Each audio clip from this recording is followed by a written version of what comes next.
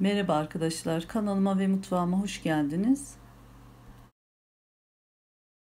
Bugün 2 kilo kıymadan buzluk için köfte hazırlıyorum.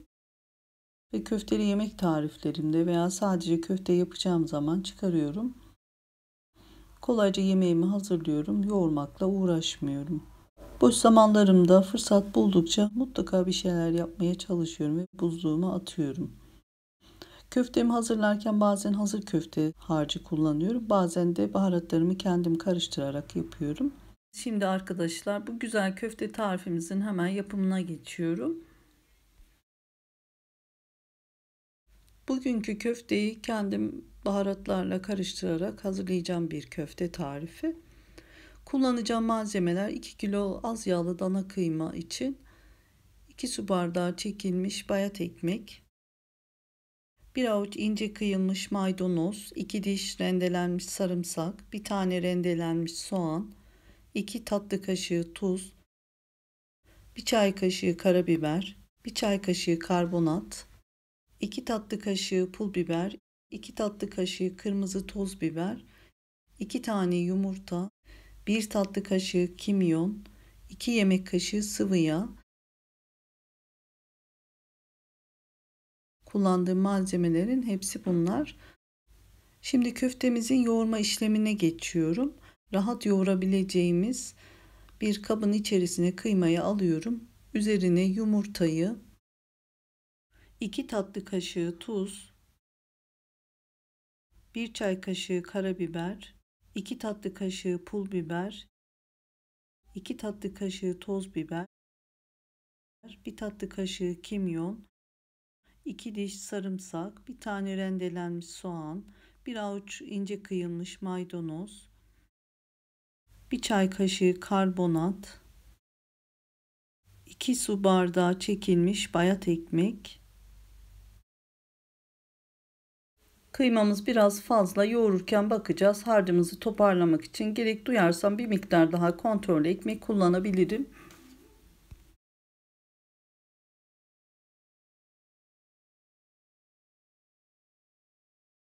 2 yemek kaşığı sıvı yağ ekliyorum. Köftemizi en az bir 10 dakika yoğuracağım. Bütün malzemelerin birbirine iyice geçmesi için güzelce yoğuruyoruz.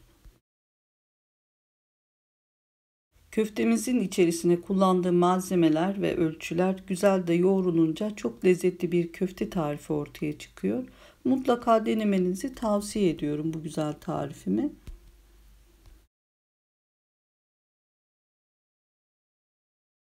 Kıyma ve baharatlar birbirine iyice karışana kadar yoğurmaya devam ediyorum. Köftemizin toparlanması için yarım su bardağı ekmek ilavesi yapıyorum. Şekil verme kıvamına gelene kadar yoğurmaya devam ediyorum. Eğer bayat ekmeğiniz yoksa bunun yerine galeta unu da kullanabilirsiniz arkadaşlar.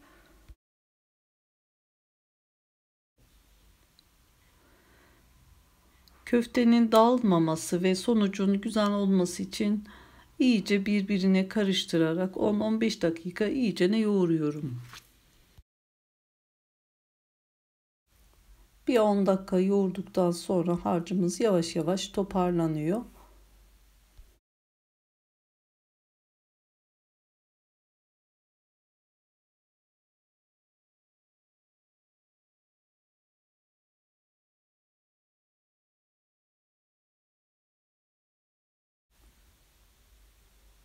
Gördüğünüz gibi arkadaşlar harcımızı yoğurdukça rengi de dönmeye başladı. Yavaş yavaş istediğimiz kıvama geliyor. Birazcık daha yoğurduktan sonra yoğurma işlemini bırakıyoruz.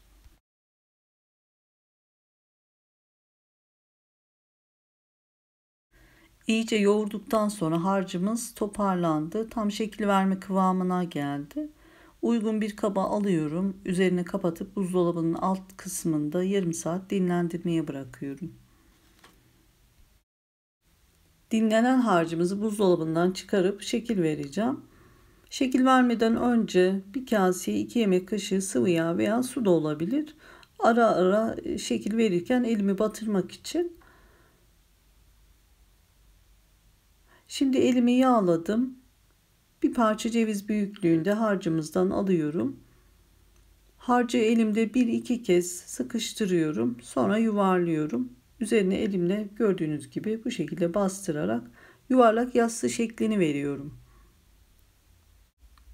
Genelde yaptığım şekillerden biri bu şekilde yuvarlak yassı. İkinci şekil olarak da genelde yaptığım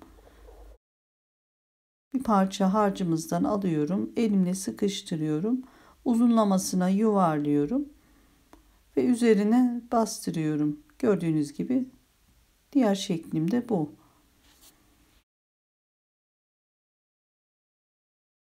Köfteli yemek tariflerine göre e, köftelerin büyüklüğü ve şekillerini istediğiniz gibi ayarlayabilirsiniz. Tamamen size kalmış. Bütün köftelerime yuvarlak yassı şeklini verdim. 3 tepsi dolusu 2 kilo kıymadan bu ölçülerle tam 64 tane köftem çıktı.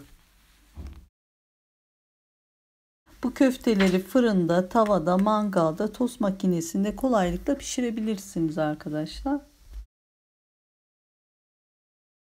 2 kilo kıymadan 3 e, tepsi dolusu köfte hazırlamış oldum.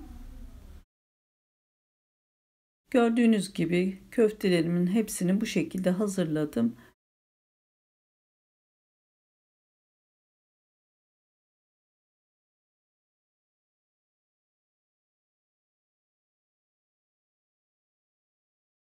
Yoğurup şekil verme işlemini de tamamladıktan sonra dondurma işlemine geçiyoruz. İlk önce bir tane tepsinin içerisine genişçe buzdolabı poşetini açıp seriyorum.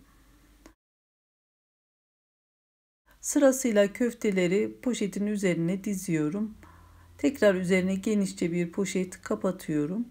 Düzgün olması için köftelerin üzerine köfteleri düzgünce diziyorum.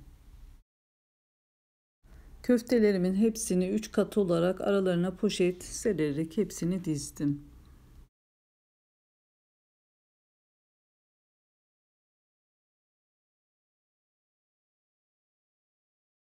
Son poşeti de üzerine güzelce kapattım. Bu şekilde yaparsak arkadaşlar köftelerimizin şekli muntazam bozulmadan donacaktır.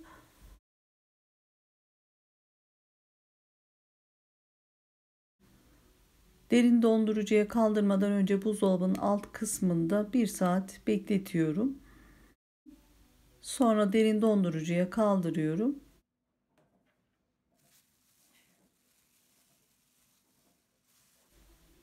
Bir gün bekletiyorum donması için. Donan köfteleri çıkarıyorum. Buzu çözülmeden hemen bir buzdolabı poşetine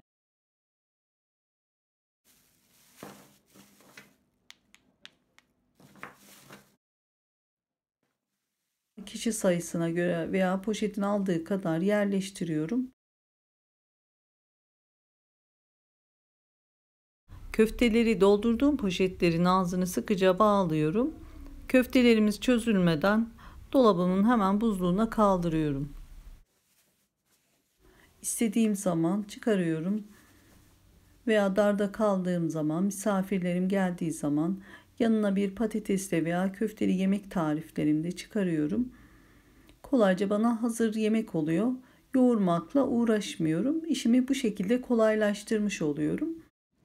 Köfte pişirmek istediğiniz zaman buzluktan çıkarın direkt olarak pişirebilirsiniz. Eğer çözülmesini istiyorsanız buzdolabının alt kısmında çözdürebilirsiniz.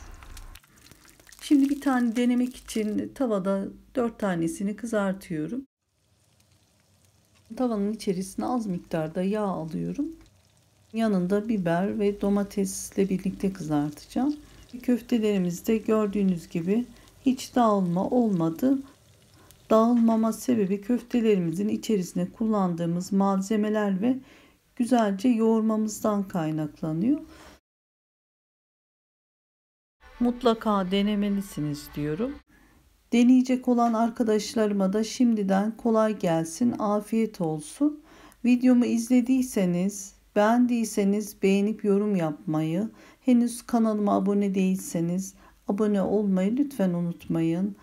Videomu izleyen herkese çok teşekkür ederim. Bir sonraki videomda görüşmek üzere. Hoşça kalın, sevgiyle kalın. Allah'a emanet olun.